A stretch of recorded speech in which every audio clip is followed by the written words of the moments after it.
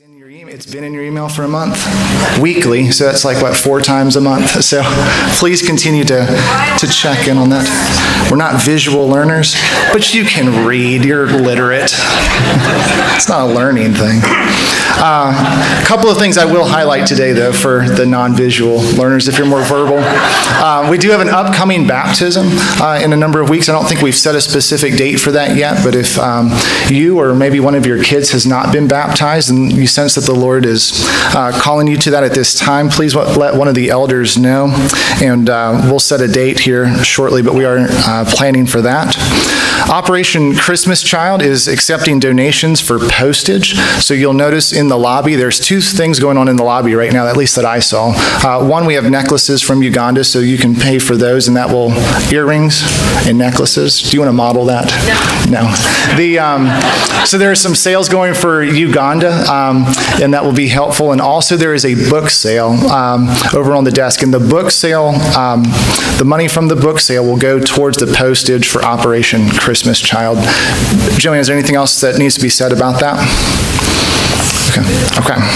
So please uh, support both of those um, this afternoon. Uh, the camping trip is still on for November 5th through 7th, but the location has changed. Um, the uh, they they had they had a canceled event that got rescheduled on our date, and so we are headed to Camp Blue Ridge, which is in Montebello.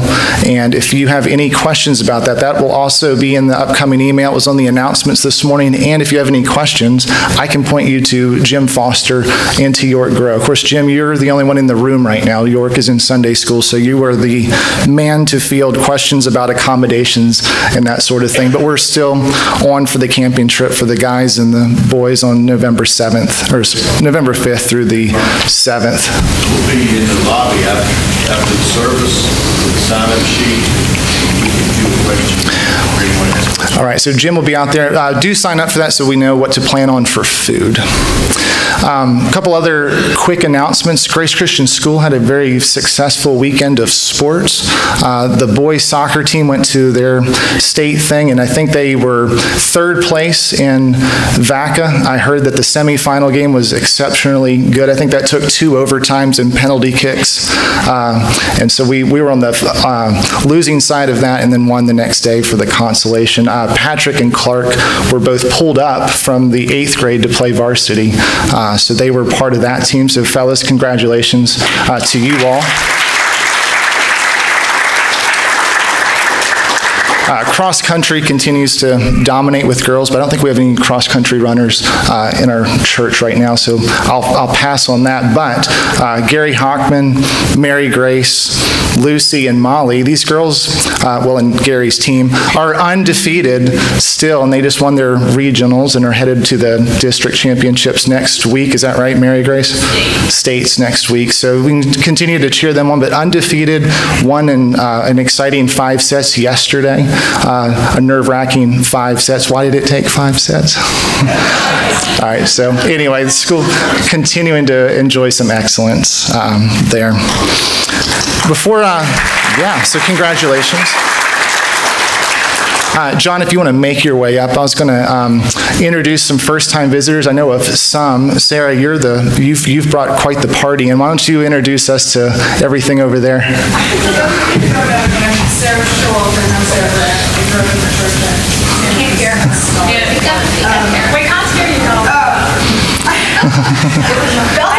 I'm Sarah church. I'm Santa Christine's daughter. Um, so we had our, we got married last year, but had our celebration last night. So this is my husband, Justin Brand.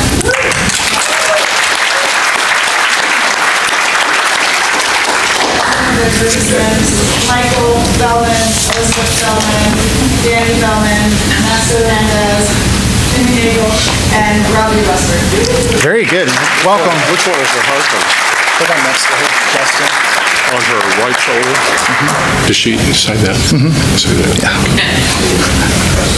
We're going to have to get a portable microphone for the crowd. Um, any other first-time visitors today? Good. Yes. Go ahead and stand up and introduce yourself. Uh, my name is Autumn Quinn. Um, I go to Mary Baldwin. So. Very good. Autumn, it's good to have you. Thank you. Good to have you with us. Anybody else for the first time? Yes, sir. Uh, Dan, um, go to Blue Ridge. All right. Very good. Dan, welcome. It's good to have you. All right. John?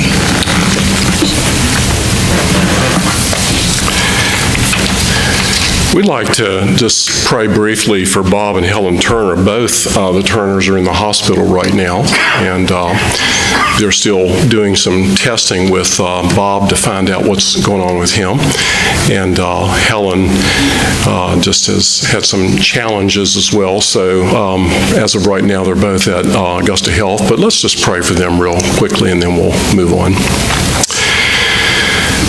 Father, we're thankful that um, you care about every aspect and every detail of our lives. Nothing is too small for you, nothing is too large. And as your people, we just lift our brother and sister Bob and Helen before you right now. Lord, we just pray that you would uh, just be with them. May your peace flood their inner being.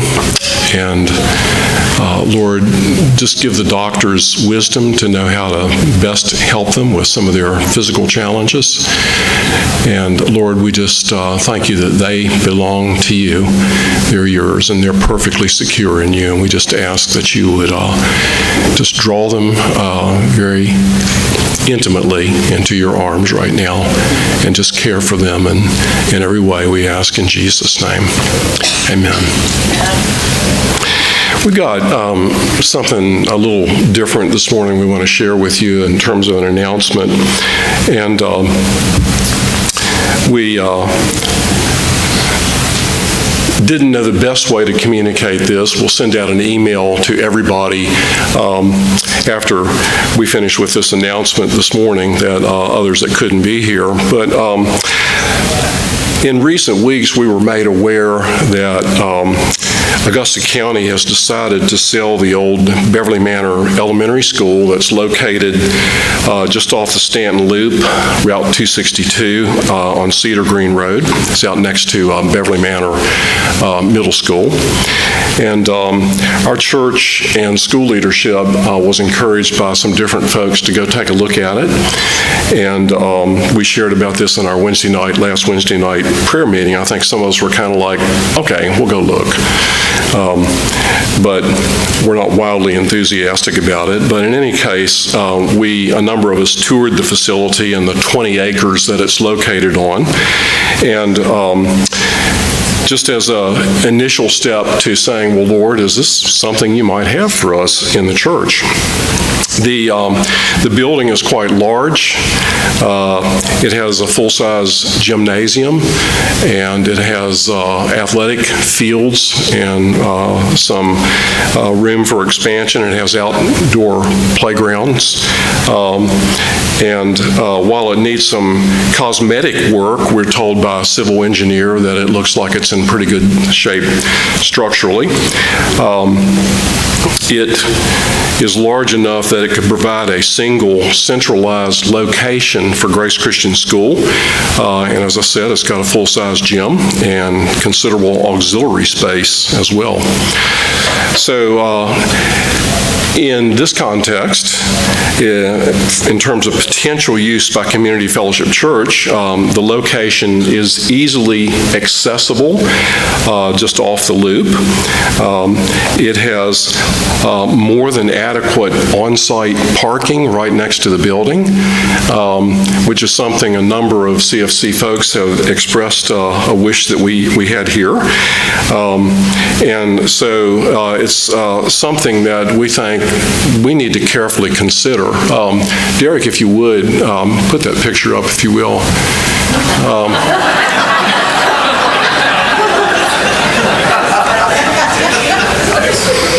well, I'm relieved that you're laughing. Uh, this is, uh, this is put together by our very um, positive and enthusiastic head of school, Don Larson. Um, and uh, he superimposed Grace Christian School on there and the Grace logo and the, the present Community Fellowship Church logo. So um, in any case, we, uh, we have not uh, purchased the property at this point. But um, we um, felt like, um, well, let me let me back up a little bit. Um, as we toured the building and walked around and looked at it, et cetera, et cetera, et cetera, um, we realized that Augusta County uh, had entered into a contract with some folks who want to buy the Verona Elementary School. And uh, the way that contract is set up is that they made an offer, um, Augusta County accepted it, but the offer included a contingency that allows this group to do a 60, uh, I'm sorry, a six-month study period, careful research period. And during that time, the uh, county um, will not offer it to any other potential buyers. Um, and if this group decides they want it, they will um, be able to purchase it for that, uh, the, the price that they offered. So as we prayed about it and consulted together, et cetera, we felt that we should make an offer on this facility under the same uh, uh, qualifications. And so we took the offer in two Wednesdays ago in a formal um, letter that was uh, put together with the help of an attorney. And um, that night, the Board of Supervisors met and they accepted our offer. So um, I, I want to carefully qualify this. We have a six-month study period that can also be extended by another 90 days that at any time we can say, hey, thanks, but no thanks. And so this will allow us to carefully evaluate uh, whether or not this is something that we feel like the Lord wants us to do, to count the cost, so to speak. And again, I want to repeat that this is not a binding contract, but it takes the building off the market. The county has agreed to sell it to us um, if we decide that we want to um, pull the trigger on it, so to speak, and go ahead with the purchase consistent with our history over 40 plus years uh, in terms of buildings. Um, we have always tried to um, combine our buildings for use by both the school and the church to make the most of the square footage that's represented in the buildings that God has graciously allowed us to own. And of course, this fits that bill, so to speak, in terms that it would potentially uh, centralize not only the school's location, but would also um, make a nice home for the church with lots of parking that's easily accessible. For most people outside of the downtown area, you actually get to this place sooner, less time, because there are no stoplights depending on where you live. And so it's, it's a very convenient um, location. Um, again, this will take a lot of careful research and cost counting, um, especially appreciative to uh, Jimmy Harper. I don't know if Jimmy's in the room. To uh, Ray Burkholder, one of our school parents, um, to Don Larson, and other uh, folks that are kind of leading the way with this. Um, we, uh, we live in rapidly changing times where the flow of mainstream culture is increasingly opposing Orthodox Christianity and even becoming hostile to people of faith. Um, we believe that it's for such a time as this that God has called us as a church and as a school. And um, we just believe that very possibly this is God's provision for us in moving ahead into the future. And again, we're going to carefully count the cost and pray. And, um, you know, while there's lots of things we could be fearful about, the economy, how it's going to hold up, what's uh, our government going to do with ministries like Grace Christian School and even uh, Community Fellowship Church, as in the Virginia Values Act, that uh, I won't go into right now. But it's, it's an uncertain time, and yet, if this is what God is calling us as a church to do, we don't want to shrink back. Um, and if this property would help better equip us to serve the cause of God's kingdom in the days ahead, we want to move ahead boldly by faith in this. So, um, question that I'll pose for us, and I'd like for us to talk, uh, we would like to talk about this more as a family, and that is, what legacy will those of us who are in my generation, and those of you here who are in my generation, what legacy um, will we pass on to the next generation? And one question that I think about is, uh, how can my generation hand off the baton with something like this or the buildings that we currently have, uh, if that's God's will for us, just to hold on to them? How, how can we pass the baton on so that the next generation has something to move forward with?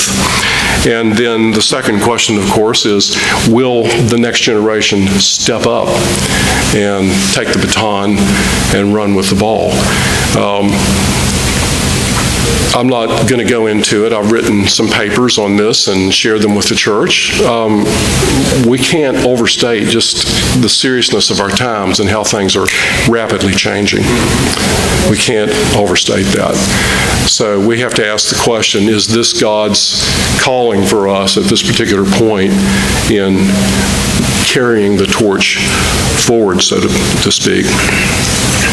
We, um, we would not do anything, make any kind of decision on this until we've had lots of time to have plenty of input from the CFC family. We'll be scheduling um, several times probably when we can open the facility up and let you go out and take a look at it and walk through it. And uh, we will have special times of prayer and we will have uh, opportunities to, to have a, a conversation about this with you, the larger church.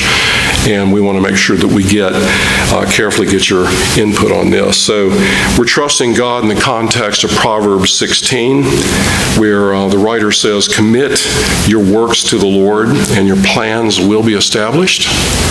And the mind of man plans his way, but the Lord directs his steps. Uh, any decision like this that we've made in the past, we pray, we wait, we ask God to give us a sense of what seems good, and then we step out in faith. And we're not saying that we feel like this is God's will, but we're just before Him right now waiting to see what He would say to uh, us about this. Um, we will be announcing this to the GCS staff tomorrow and then to the GCS parents on um, Tuesday. So um, just kind of keep it close to yourselves right now, and then the information will be out to our larger faith community no later than this past or this next Tuesday.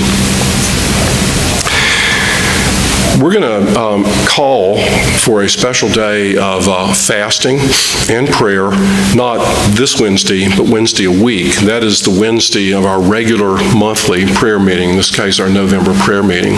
We'd like to ask you to consider fasting on Wednesday for however long during the day or whatever meals, the whole day, whatever, as you feel uh, led to do, and come together with us on Wednesday a week to pray about this, but also um, a number of folks, um, and you're well aware of this, are dealing with some serious illnesses.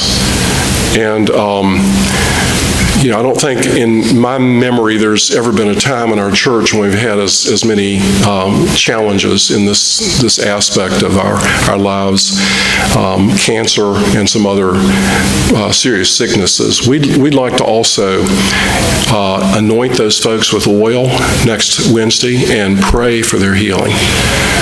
So this is serious, serious stuff, and we need we need your participation. So join us Wednesday week for prayer. For newbies, what time? Uh, 7 o'clock for newbies and uh, 7 o'clock for oldies. So, too, yeah. Um, John and Brian and Brian, is there anything else that I didn't share about this that I should share? John, how many classrooms? Um, more than I can count. The, um, the square footage represents about, uh, Jimmy says, about 10% more square footage than all of our buildings combined right now. So it's good size. And the fact that it has a full-size gymnasium is significant, uh, not just for the school.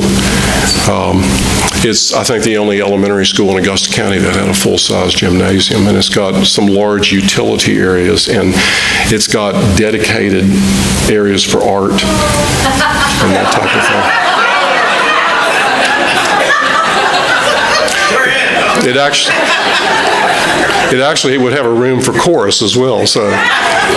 Right, I will take a few questions. I, I want to be sensitive to time, but uh, Charles Jackson. Well, what's the potential? Is there good potential for selling this building on the market? God knows. We have one group that would, uh, already has expressed interest in the Statler complex. Uh, They told us if we ever wanted to sell it, let them know, and they seem interested at this point. Uh, I would say from a commercial standpoint, um, I would think um, at at this time that this building would be, certainly be attractive. We we have new roofs on all of our buildings, we have a lot of new HVAC in most of our buildings. God has enabled us to do um, uh, that kind of improvement over the years and uh, has provided. So, yeah, we we would have to sell this building and that complex and probably hold on to the activity center. So think about this, pray about it. If you have questions, you can email us, call us, te- uh, don't text us. And, uh, you know, just um, let's be in prayer about this. This is exciting. And I would say to those of you who are oldies, um, you know, guys, uh, let's be Caleb's and Joshua's. Okay? Joe, Joe, um, spoke up in the prayer meeting this morning. God wants to use all generations. And this retirement mindset is, is not welcome here.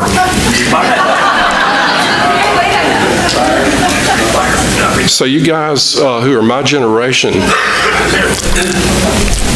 let's cross the finish line running. Okay? And let's do everything we can to pass the baton to the next generation. If they drop it, that's on them. So, all right. I, my notes are um, shorter this morning than they usually are, depending on how extemporaneous I get.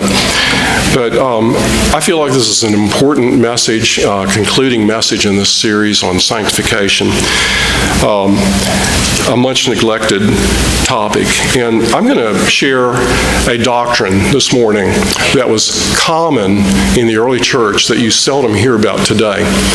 And um, uh, I just want you to hear me out before you throw stones at me because this could be easily misunderstood, some of what I'm going to share. But I think we need to hear this. And uh, so pray with me, if you will, and let's share God's word together. Father, by the power of the Holy Spirit, Please give us eyes to better understand the reality of sanctification as our healing as persons in Christ. Help us to better appreciate and practically cooperate with this glorious calling in our lives. In Christ we pray. Amen. Um, all right, as soon as I figure out which button to push, there we go. We're talking about sanctification. And the theme scripture that we've utilized is uh, 2 Peter 2 24 through 25. He himself bore our sins in his body on the cross that we might die to sin and live to righteousness. For by his wounds you were healed. For you were continually straying like sheep, but now you have returned to the shepherd and guardian of your souls. So last week I emphasized that this healing process administered by the Holy Spirit is intended to restore us to whole, healthy personhood, if I can use that word, in the image of God, who, as Father, Son, and the Holy Spirit, is ultimately personal. Fourth century church father Gregory of Nyssa wrote, For that which he, Christ, has not assumed, he has not healed, but that which is united to his godhood is also saved or healed. And this statement flows out of Peter's words that we have been considering now for a number of weeks in 2 Peter 1 4. He has granted to us his precious and magnificent promises in order that by them you might become partakers of the divine nature, having escaped the corruption that is in the world by lust. So these are stunning words, I believe, especially to our 21st century ears. And they really are the words that stimulated me some months ago to dig deeper into this concept of our union with Christ and uh, this whole concept of this aspect of salvation that we call sanctification. And that's really what this, this verse has led up to this series of messages that I've, I've shared. So, by virtue of causing us to be born again, by making us partakers of his divine nature, bringing us into actual personal union with himself. Christ has assumed our humanity in order to heal us into healthy persons in his image as the fundamental goal of our salvation. First century church father Irenaeus said it like this God the Logos became what we are in order that we may become what he himself is. Amen. Dangerous statement. Needs some qualification. But wait till you see this next statement by Athanasius. I thought maybe maybe I won't share this because it's so easily misunderstood, but sorry. Athanasius said, God became man so that man could become God. So this sounds almost blasphemous to our 21st century minds. But I need to emphatically point out that these early fathers did not mean that we humans or followers of Jesus Christ actually become God. That is not what they meant. Rather, they meant what Peter states that we become participants in the divine nature while remaining creatures in relationship to the Creator. They never meant to suggest that the distinction between God and man was ever eliminated. But they were in the language of their day, and this is the key, they were emphasizing this marvelous union between man and God grounded in what Peter refers to back in 2 Peter 1 as precious and magnificent promises, in which Paul observes, he says, I have not seen nor ear heard, neither have entered into the heart of man the things which God hath prepared for them that love him. Peter adds, things into which angels long to look. Our salvation and what Christ has purchased for us in relationship with himself is so stunning that human language can't wrap itself around these incredible truths. So, um, Irenaeus, Athanasius, numerous other early church fathers, first century, especially through the fourth century, but all the way up to uh, the Reformation. Calvin and Luther said this also in, in various forms, but they called this um, this concept of human participation in the divine nature, the born again, filled with the Holy Spirit, Jesus Christ, our hope of glory, Jesus Christ in us, our hope of glory. They actually had a name for this, this doctrine which they called theosis.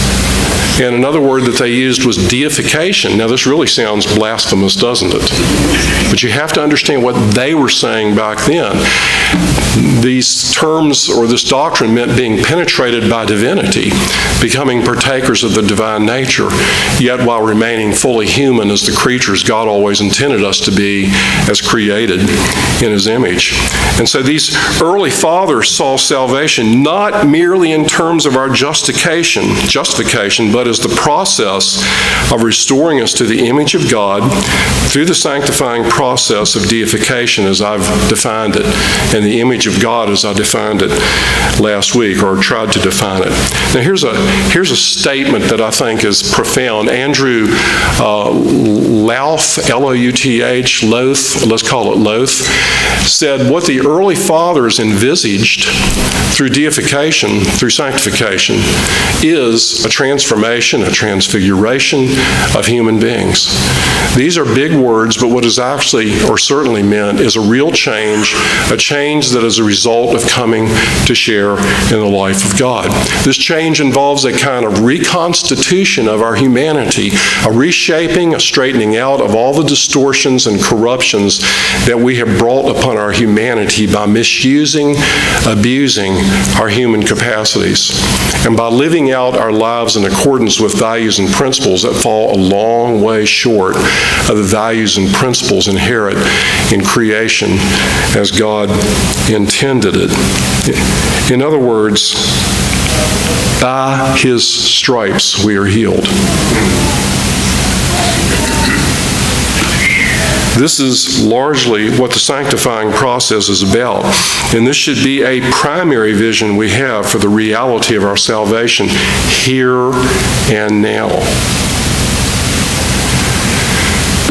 J.I. McGuckin observes, and I, I, think this is profound also, for the early church, salvation, therefore, was more than the forgiveness of sins, rather, a profound reworking of ordinary humanity into a divinely graced life form that would experience an ongoing transformation into God's image. Of this concept, sanctification, as an essential facet of our salvation. John Calvin, and this was what, 15th century? Whatever, I get my centuries mixed up, 15th or 16th, 1500s or 1600s, I think it was the 1500s. Calvin said, Christ contains both justification and sanctification inseparably in himself. You cannot possess him, Christ, without being made partaker in his sanctification, deification, because he cannot be divided into pieces. Again, quoting and paraphrasing Loth, he says, Deification, participating in the divine nature, sanctification, is not a negating of our humanity by making us into many gods, but the fulfillment of what it is to be human. Deification reveals the divine and lofty purpose for which humankind was created. So the emphasis is that this is the full scope of biblical salvation. And if we miss this grand vision, then we have reduced salvation, reductionism, to merely a shallow form of fire insurance that saves us from hell and provides our ticket to heaven, thus short circuiting and cheapening the full extent of what Christ accomplished at Calvary. Is this a problem? Has it been a problem in the evangelical culture in the United States? I think so.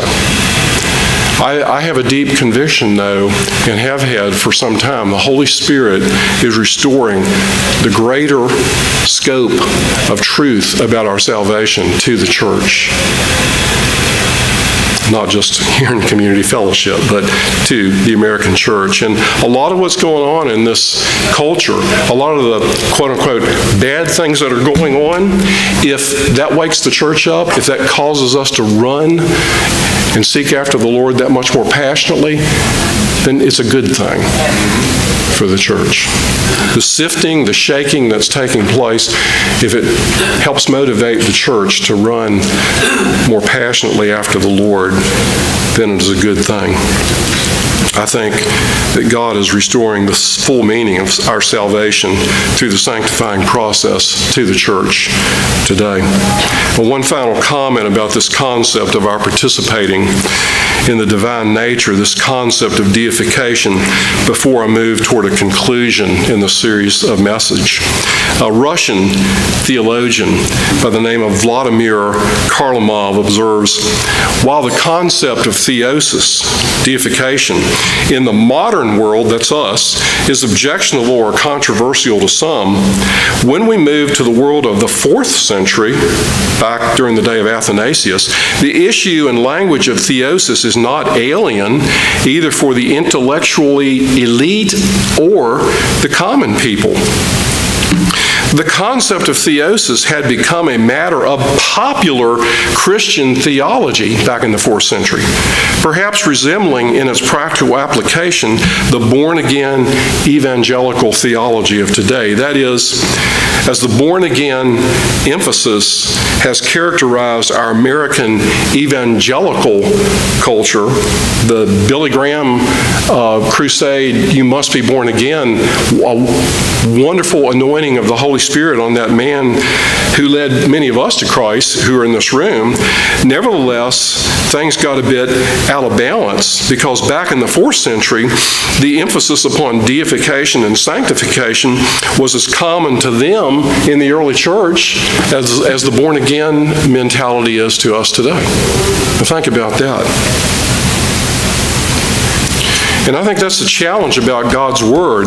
As disciples of Jesus Christ, are we going to stay in our groove, so to speak, or are we going to allow this to constantly challenge us to move into greater depths of truth and reality than maybe you know, our culture, even our evangelical culture, is comfortable with.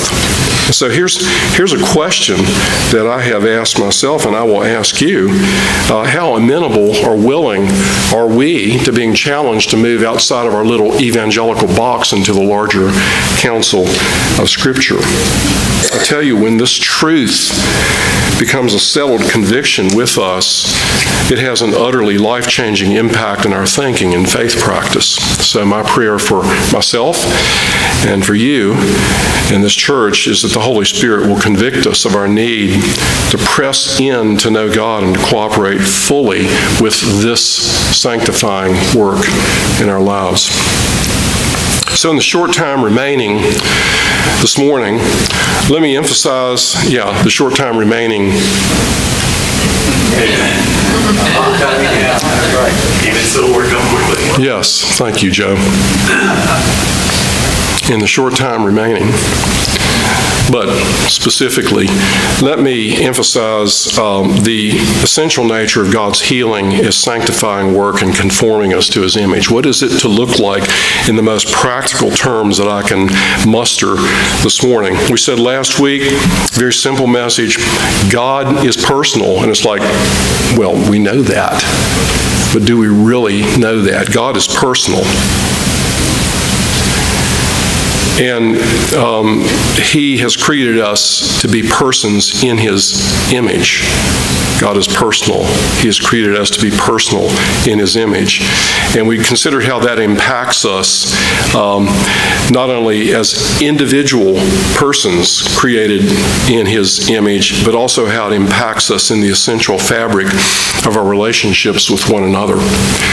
Uh, I, would encourage you to get notes from that message or listen to it, go on our internet and access it. It's, it's such an important foundation, even though it's so simple, um, it's profound. And I encourage you to, to listen to that to make better sense out of what I'm sharing this morning.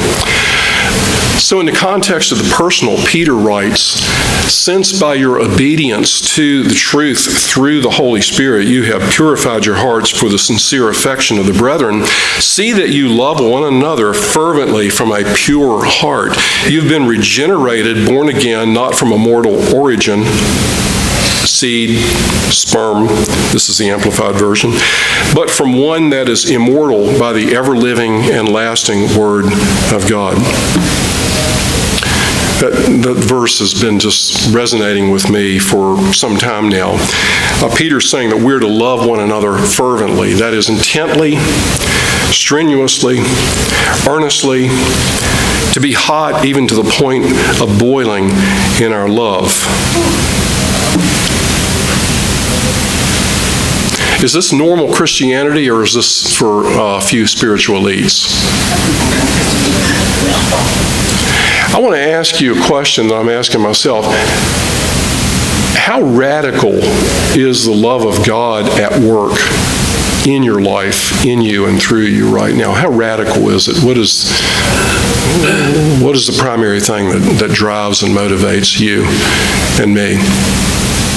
And, and how radical is our love for one another? I appreciate the, the legend about the Apostle John when he was old and feeble, being carried on the shoulders of the young men. And about the only thing he could say was, Love one another. Love one another. Love one another. He had just reduced it down. How, how is it that he had reduced it down? I mean, Peter says, um, I left this verse out. Peter says in 1 Peter 4 8, above all, above all, keep fervent in your love for one another. So, Peter, Paul, John, Jesus himself, our Lord, uh, they do not pull this concept of radical love out of thin air. It's the very nature of who God is. God is love. And if we are born of his seed and nature, that fervent love will characterize our relationships with one another. The big word that I will use is ontology. It's, it's a word worth knowing. In, in certain contexts, you can use it. It helps communicate something better than just using the word reality. But the ontology or reality of God is that He is love. Love is not an attribute that describes God. Love is not an adjective that describes love. God is love. Okay? And this is important for us. The ground of all reality is God. And the ground of all reality is God is love. When we have eyes to see, you are created in God's image.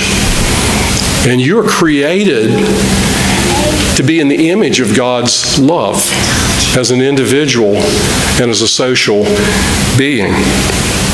And so I don't think we can get any more fundamental in our theology. I mean, we, we, we, can appreciate John being carried around on the shoulders of the young men, assuming that's true, saying, Love one another, love one another, love one another. What is more essential than loving one another in such a radical manner?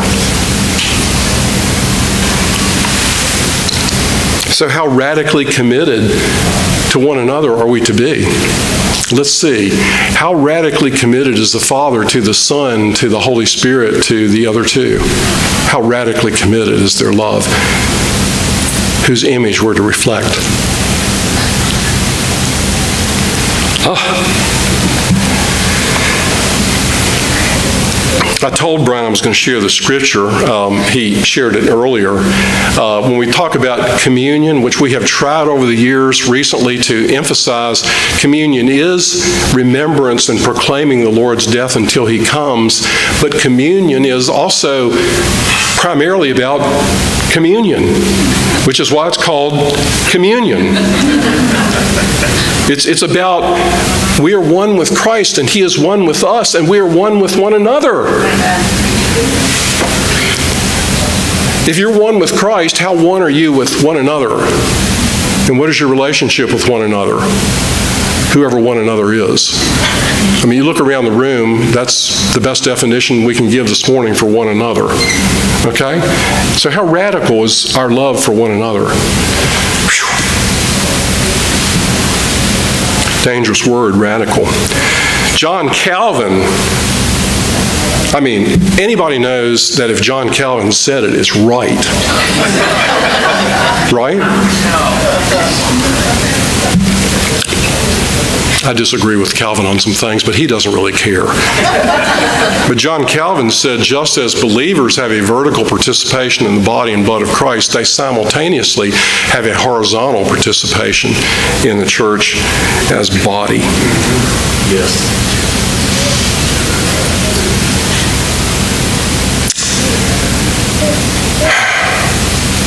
And American evangelicals just go floating all over the place don't like the drums, so let's go someplace else. Worship's too loud, let's go someplace else. Worship's not lively enough, let's go someplace else. They don't have chandeliers that we can swing from. They don't sing enough hymns, et cetera, et cetera, et cetera, et cetera. I'm not saying there aren't good reasons to, to, you know, you need to be where God wants you to be, but come on, American evangelicals. Let's get with it. That's not in my notes.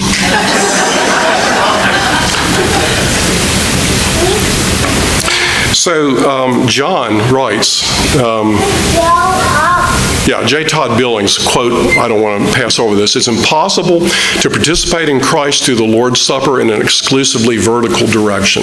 Participation in Christ simply must involve the horizontal activity of koinonia and love. And it's not just when we take the elements, it's how we live. It's how we live. If I may stop at this point, Rod Dreher wrote the book, The Benedict Option. And he said, in a culture increasingly hostile to Christ, you know what the witness of God is going to be? It's going to be pockets of Christian community where people actually love each other in this radical manner and stand for truth without compromise. And he said lots of other things, but I think, I think he nailed it. So when you get these concepts, you understand what John said in, in his first letter, uh, First John. He wasn't just saying a nice, a nice, warm, fuzzy, sweet things about love. I mean, he was talking about the ontology of God, the reality of God. He said, Beloved, let us love one another, for love is from God. And everyone who loves is born of God and knows God because they're not, like Peter said, born of some mortal thing. They're born of the Spirit of God. And that's who God is. The one who does not love does not know God, for God is love. Beloved, if God so loved us, we also ought to love one another.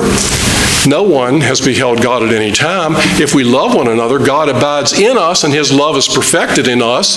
By this we know that we abide in him and he in us because he has given us of his Spirit. In other words, people see the reality of God in us. It's not going to be because we got all the right doctrine, although that's important and necessary. It's going to be because they see God's love in us. And if God's love is not in us, we miss something. And we have come to know and have believed the love which God has for us. God is love, and the one who abides in love abides in God, and God abides in him. By this, love is perfected with us that we may have confidence in the day of judgment, because as he is the ontology of God, so also are we the ontology of God in us, the reality of God in us. In this world, we love because he first loved us.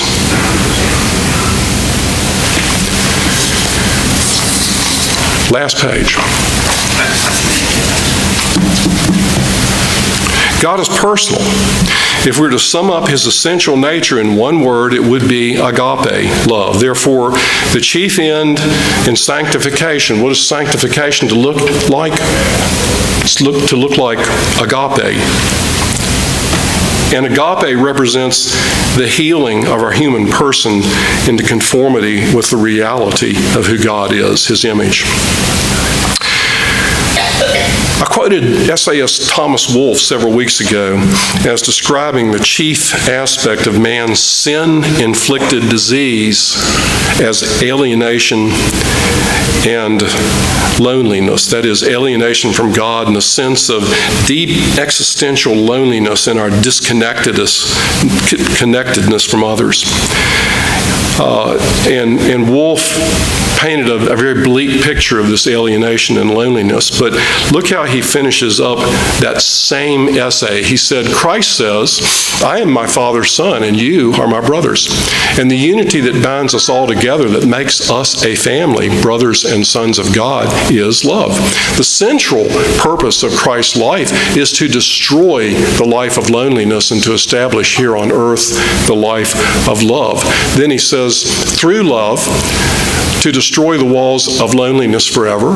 And even if the evil and unrighteous of this earth shall grind them down into the dust, yet if they bear all things meekly and with love, they will enter into a fellowship of joy, a brotherhood of love, such as no man or men on earth ever knew before. Such was the final intention of Christ's life.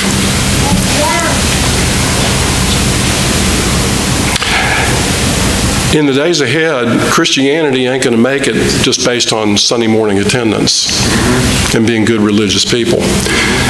It's going to be radical Christian community, radical love for those who are serious about following Jesus Christ. May God help me. May God help us in that respect.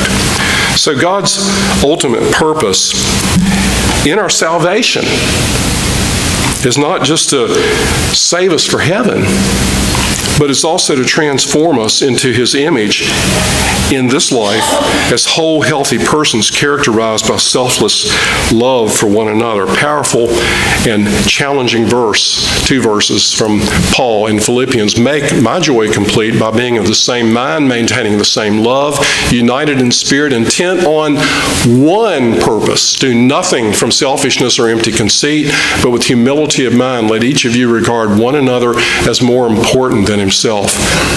The image of the Father, the Son, and the Holy Spirit reflected in us. The ontology, the reality of God's Trinitarian being in whose image we are created.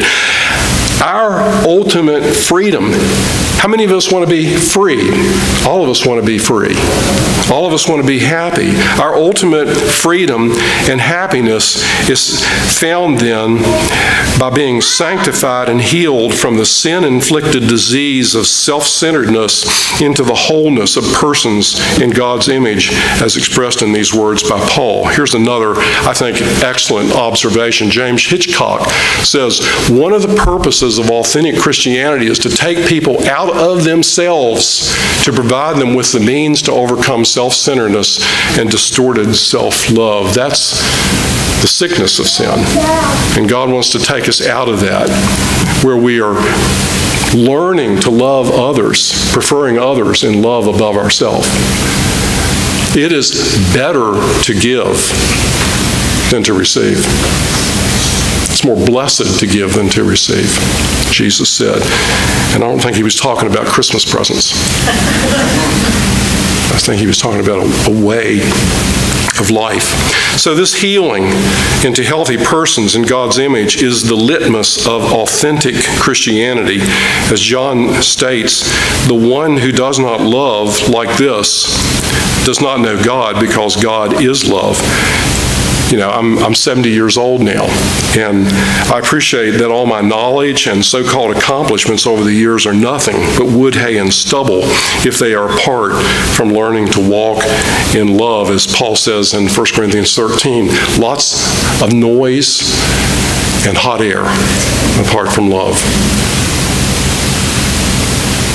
May God help each of us to understand and grow in what it means to be participants in the divine nature and to understand that it's only by our love for one another that the world will know that we are authentic Christians. This is the third time I've shared this quote by Craig Gay. Although we are surrounded by a great deal of talk about religious experience today, and even by talk about God's presence in the world, we must insist that all such talk comes to naught as a genuine witness to God's otherness.